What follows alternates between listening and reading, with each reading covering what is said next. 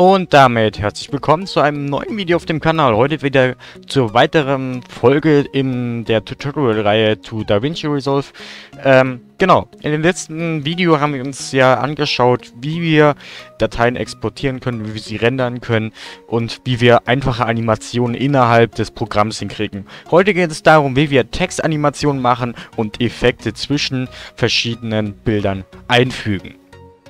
Genau, äh, dazu habe ich einfach mein neuestes Video rausgezogen, ähm, was ich noch auf meinem PC rumliegen hatte. Und da habe ich gedacht, dazu, ähm, wie ich das zusammen ähm, cutte, beziehungsweise einfach meine Objekte einfüge, mache ich einfach mal eine Videoreihe zu. Ähm, das Ganze ist natürlich jetzt nicht wirklich pro, also, ähm, aufwendig, was ich jetzt gerade mache, ähm, da ich jetzt äh, weniger aufwendige Videos dazu zu habe. Wenn ich jetzt aber zum Beispiel Blaulicht oder War Thunder cutte, dann ist das schon aufwendiger. Ähm, genau, braucht halt somit auch ein bisschen mehr Zeit.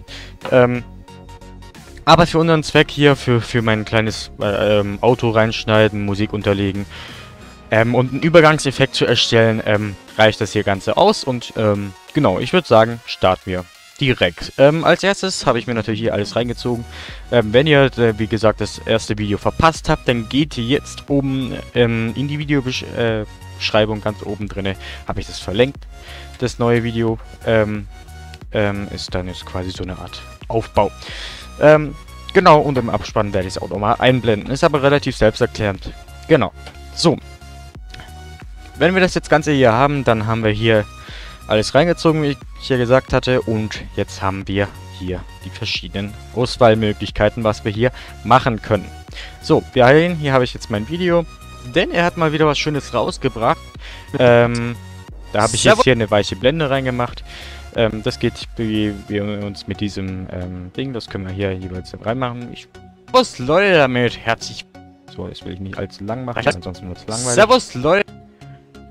Bis zum Servus mache ich's. Servus Leute damit! Genau, ich, ich erstelle immer so eine kleine Blende an den Anfang, das ist einfach ein bisschen... Ähm, ja, das hat einfach einen schöneren Übergang. Genau, so. Ähm, Jetzt haben wir hier unser ganzes Video, in dem möchte ich selber nichts schneiden. Ähm, wenn ihr jedoch hier was schneiden wollt, dann empfehle ich euch, ähm, gesagt, das erste Video anzuschauen. Da habt ihr alle Grundlagen erklärt. Und als nächstes möchte ich hier meine Musik reinziehen. Das heißt, wir nehmen sie von da oben und ziehen sie runter in die Audiospur 2. So, das ist ähm, eine No-Copyright-Musik.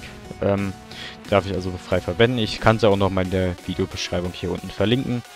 Ähm, tue ich übrigens immer unter meinen ähm, Videos.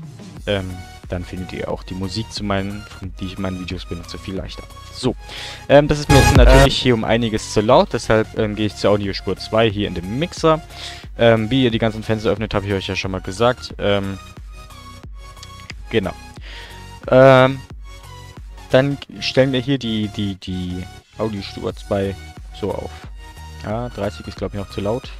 Ähm, wir können mit der Taste N, obwohl, eine Se Das geht sogar noch relativ letzten Skin.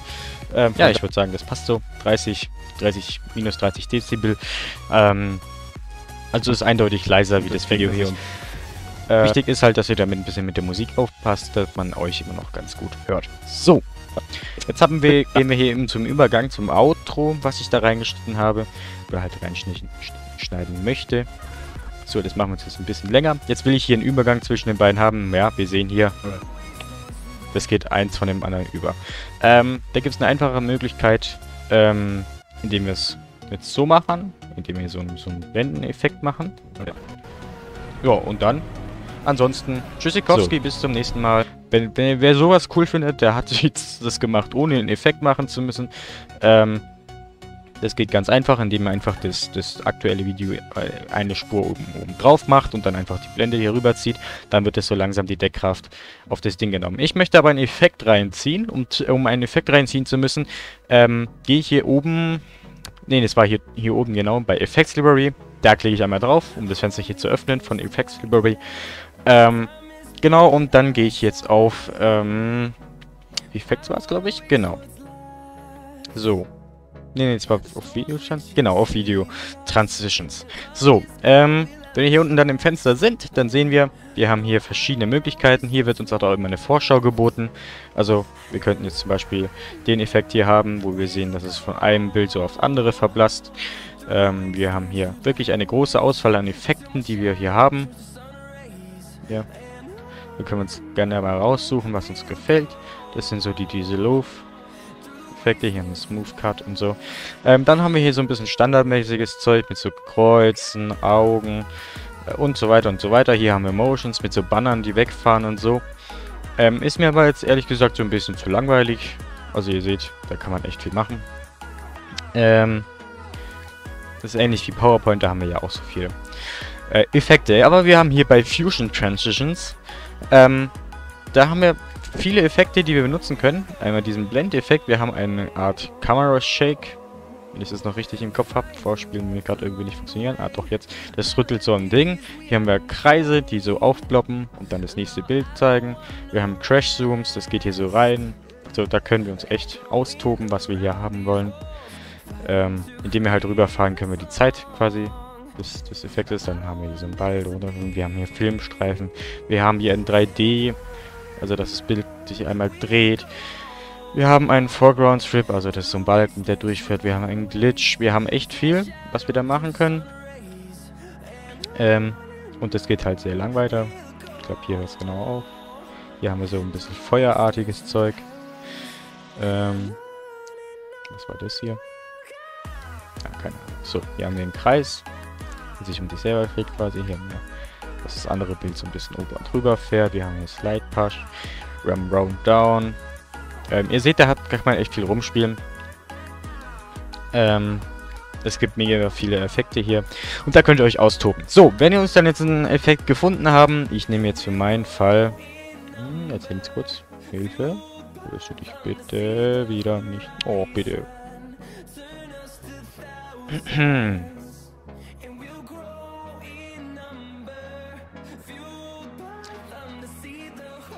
So, jetzt hat sich wieder im Griff. So, ähm, hier habe ich jetzt zum Beispiel den... Den finde ich eigentlich ganz geil. So, den packen wir dann und tun ihn dann über unsere Videostelle ziehen. So, jetzt äh, haben wir das folgende Problem. Wir sehen, wir können es nicht über die beide Effekte ziehen, sondern nur auf eine Seite. Das stört uns jetzt natürlich. Sowas wollen wir natürlich nicht. So, das liegt jetzt allerdings daran, ähm, dass es der quasi der Effekt nicht genug Videomaterial hat, ähm, um, um den Effekt auszuspielen. Das bedeutet, ähm, dass hier, hier, das soll ja alles gezeigt werden. Der Effekt sagt sich aber, ich möchte hier, äh, ich brauche ein bisschen äh, Videofrequenz, um das zu zeigen. Ich kann aber, ich finde hier hinten ein Stück, da ist ja zu Ende, da finde ich aber keine Videofrequenzen zum Nehmen. Das passiert auch immer wieder am Anfang, wenn er sagt, am Anfang finde ich keine Videofrequenz, ähm, die ich zum, für meine Animation brauche, ähm, dann tut er es quasi rauslöschen, können wir jetzt so sagen. Oder halt nicht rauslöschen, er, er, er, er kann halt nur diese eine Seite eingesetzt werden, das sieht blöd aus. Das heißt, wir gehen hier mit meinem Video ein bisschen hinten raus. Wir haben da jetzt ein bisschen Puffer geschaffen. Und jetzt können wir uns jetzt sehr bequem rüberziehen. Genau, so. Wenn wir uns jetzt den Effekt auswählen und wir jetzt Play drücken. Oh, ja. Jetzt, jetzt kleiner Vorführeffekt. So, muss ein bisschen verarbeiten, rausrennen. Sikowski, bis zum nächsten Mal. Oh ja. So, jetzt sehen wir aber, hä? Komisch, äh, da geht mir viel zu schnell der Effekt. Da müssen wir doch was machen. So, ähm, hier oben, wenn wir auf den raufklicken mit diesem Ding, dann wird er hier rot und dann öffnet sich hier oben beim Inspektor ein Fenster, das heißt äh, Transition. Hier können wir einstellen, wie viele Sekunden bzw. wie viele Frames das drin sein soll. Und ich sage jetzt mal, es soll hallo, zwei Sekunden brauchen. Das heißt, ah, jetzt will er hier nur auf 1.7, klar, weil, weil, mein, weil ihm dann wieder Bildmaterial nach hinten raus fehlt. Aber 1.7 ist meiner Meinung nach auch eine gute ah, Einstellung. Ja. So, das geht jetzt nicht schnell genug. Und genau, dann hätte ich das sogar schon.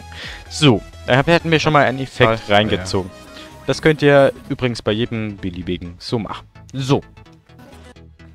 Dann äh, möchte ich einen Titel reinmachen. Dazu gehen wir ebenfalls bei Effects Library, gehen wir hier nur auf Toolbox Titel. Ähm, und da haben wir wieder einige vor, vordefinierte Titel, die wir nehmen können. Wir können uns hier einen Standardtitel reinziehen, der hat keinerlei Animation. Wir sehen hier, wir können Standardtitel reinnehmen. Ähm, genau, wir können aber auch animierte Texte reinnehmen. Und die haben alle ihre eigene Animation. Die sind alle schon gemacht. Da brauchen wir nicht viel rummachen. Ähm, das sind auch quasi Texteffekte. Ähm, und da gibt es auch einiges. Hier haben wir einen digitalen Glitch. Also, da gibt es echt sehr viel, den wir uns auswählen können. Da wählen wir uns ebenfalls jetzt einfach eine Textart aus. Ähm, ich nehme jetzt Ginger. Das ist meiner Meinung nach ein ganz guter Texteffekt. Wir können aber uns natürlich auch hier oben einen ganz normalen nehmen. Der ist halt dann nur nicht animiert und wir können entweder die Animierung dann selber machen oder ja, wir können es auch so lassen. So. Jetzt, ähm, keine Ahnung, was will ich da reinschreiben? Äh, ich schreibe da jetzt rein, weil es zum Video passt. Download in der Videobeschreibung. So. Haben wir ja das Problem quasi, dass es jetzt viel zu groß ist. Ja, wir sehen, das ist einfach riesig. So. Ähm, um das anzupassen, können wir jetzt erstmal hier Enter drücken. Ähm, müssen wir aber nicht unbedingt, weil wir können auch hier die Größe anpassen. Hier unten Seite ist ja ein Regler, den können wir entweder mit Zahlen hier hinten bearbeiten oder, ähm, genau. Den Punkt hier traue ich nicht zu erklären. Ähm, wenn doch, dann geht einfach wieder ins erste Video. Da habe ich es erklärt, was mit diesem Punkt auf sich hat. Damit können wir also animieren, den Ding auch. Ähm, die Größe quasi. Ähm, das will ich jetzt hier aber nicht nochmal in Einzelheiten erklären müssen. Ähm, wir können hier es enger beieinander machen. Ich finde, ups, jetzt ist das komplett raus. Egal, dann machen wir es halt nochmal von vorne. Ups, ups, ups, ups, ups. So. Link in der Videobeschreibung. So. Dann machen wir das Ganze nochmal von vorne. Ziehen uns erstmal ein bisschen kleiner. So, und hier bei dem beim Line Spacing können wir eben ähm, hier. Hm, was kann man damit? Kann man. Ah, ja, genau. Hier. Können wir jetzt quasi sagen, wie weit sollen die äh, Zeilen jeweils auseinander sein. Und hier beim Tracking können wir sagen, wie weit sollen die Buchstaben auseinander sein. So. Hier können wir die Schriftart ändern. Ihr seht, ähm, wie ganz normal im PowerPoint könnt ihr hier die Schriftart ändern. Das hat jetzt nicht groß was auf sich. Wenn eine Schriftart nicht genommen werden kann, dann geht es einfach nicht. Ähm, wenn ihr euch quasi eine neue Schriftart äh, installieren wollt, dann könnt ihr das mal in die Kommentare schreiben, dann erkläre ich euch, wie ihr euch auch neue Schriftarten installieren könnt. So. Jetzt will ich eben noch die äh, Position. So, in der Mitte gefällt es mir nicht. Ähm, das heißt, wir ziehen das Ganze mal... Äh, ich will es jetzt nicht nach links kopieren, sondern eher nach oben. Das war das andere hier. Link in der Videobeschreibung. Ich ziehe es jetzt über meinen, meinen Sprinter. Ähm, genau, jetzt möchte ich aber noch, dass es ein bisschen reingezoomt wird. Das heißt, ich mache hier Dynamic Zoom an. Das heißt, jetzt wird es automatisch ähm, hier hineingezoomt. So, jetzt hängt es wieder kurz. Muss wieder kurz laden. Gönnen wir ihm die Zeit. So, jetzt hat es geladen. Ähm, genau. Und wenn wir das dann haben, dann, ähm, ja, äh, will ich jetzt noch, dass das Bild hier bewegt, dann mache ich also auch hier den Dynamic Zoom rein. Ähm, wir können hier noch eine Einstellung bei Dynamic Zoom sagen, ob es aus, heraus, raus oder so, so, in welche Richtung sich der Zoom bewegen soll. Ähm, genau. Jetzt wollte ich mir noch das Subscribe hier reinziehen. Äh, ähm, genau. Das machen wir auch noch kurz. So, ziehen es uns bis dahin den Rand. Dann, ich mache da jetzt keine Dinge. Ich ziehe den jetzt auch wieder kleiner. Bei oben bei Zoom. So. Dann ziehe ich mir in der Ecke. Das ein bisschen wieder größer. Das war mir doch ein bisschen zu klein. Ziehe ich hier runter. Genau. So. Und bei dem mache ich auch den Dynamic Zoom raus. Und dann bewegt sich halt einfach alles so ein bisschen hier in dem Auto. Genau. Oh, ja. Wir haben jetzt hier einen Effekt drin. Wir haben hier eine äh, animierte Text. Und wir haben hier einen Subscribe-Button, der sich rausbewegt. Genau, wir können den Text hier natürlich noch länger ziehen. Das ist alles kein Problem, wenn es jetzt gleich ruckelt. Es liegt daran einfach, dass es rendern muss. Ihr seht hier immer, wenn's, wenn, wenn er es gerade noch nicht rendert hat, dann seht ihr immer, dass hier oben ein roter Balken drüber ist. Genau, so. Dann, äh, ja, haben wir es eigentlich soweit. Wir können es jetzt noch das Outro an der Musik anpassen mit Zoom und so ein Zeug. Aber das ähm, muss ich euch ja nicht erklären, wie ihr das macht. Das wisst ihr dann selber. Genau, wir können jetzt hier noch die Musik lauter machen. Fällt mir gerade ein. Vielleicht was ganz Cooles. Ähm, da gehe ich jetzt einfach hier mit meinem, meiner Schere an den Rand. So, hier. Da mit dem vielleicht die lauter haben die Musik. Dann ziehe ich einfach eine, eine Tonspur tiefer. Da sind die Einstellungen hier wieder ganz normal. Und da können wir gucken,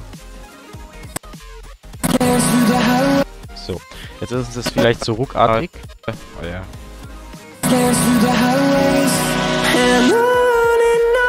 So, dann können wir hier quasi mit den Dingen, die bei der Deckkraft, können wir hier sagen, wir wollen die Stromspur hier leiser machen für die Seite.